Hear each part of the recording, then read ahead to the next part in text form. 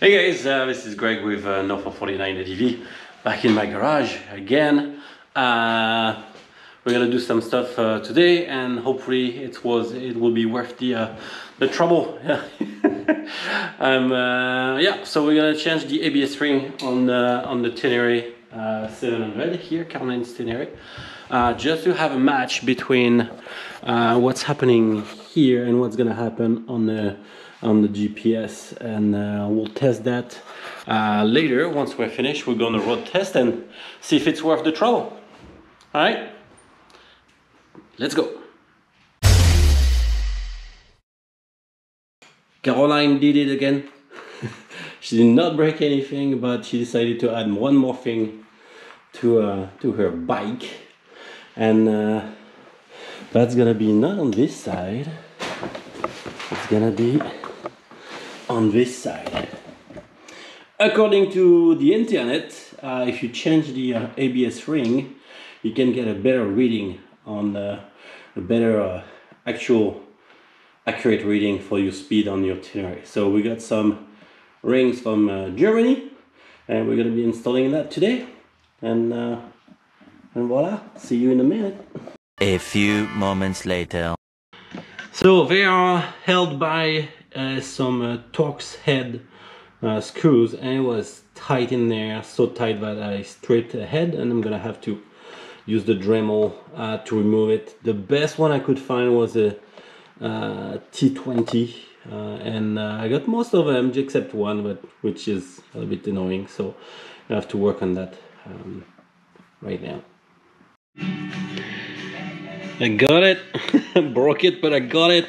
Had to remove the the disc just to get a better uh, grip on this tiny screws that was tight in there so hard. So now we can get moving. I have to go to Yamaha on Tuesday to get one of these but uh, should be good for now. Alright now we gotta put everything back together with the specs and see uh, how it goes.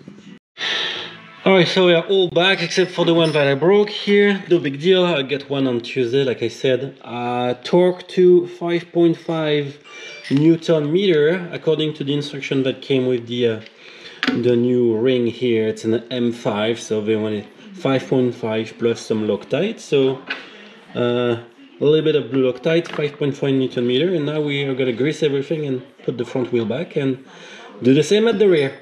More moments later. Alright, so we have to do the same thing at the rear. This time I did not break the uh, little screws, so it went pretty well. Uh, and this is the new ring. And uh, because you have to do front and rear, so it matches uh, for the computer, you know, to understand what's going on. And voila, uh, do that, put the wheel back and uh, go for a test ride this afternoon and, and see if it matches the GPS. Several bad puns later. Alright, there we are. Uh, my speed on GPS is gonna be there, so it's supposed to be, you know, quite accurate. And uh, my speed on the other one should be here and see uh, how much we, we get difference.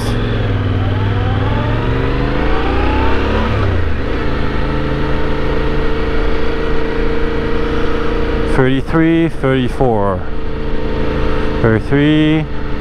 33, 32, 33. Yeah, it's about a one-ish kilometer an hour difference. We could be due to the uh, the new tire. Also, we put a fresh tire on it. It's like it's brand new uh, Shinko tire. So, you know, it's much better than what it used to be. Right? It used to be like five to seven kilometer difference. So, uh, definitely an improvement, I would say. Yeah, 44 and I got 43 times. I'm gonna turn here.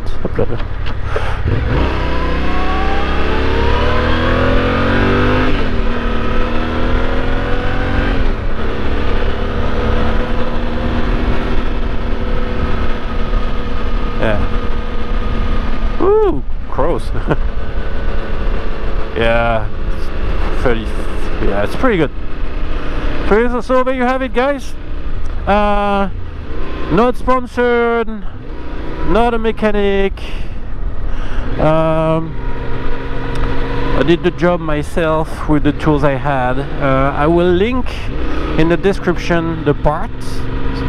And uh, so if you want also to have like a more accurate uh, speedo reading which also gonna influence also your uh, your mileage. So what happened before is because it was off the bike showed more kilometers than it was actually doing which is annoying because the last thing you want is add more kilometers to your bike for no reason.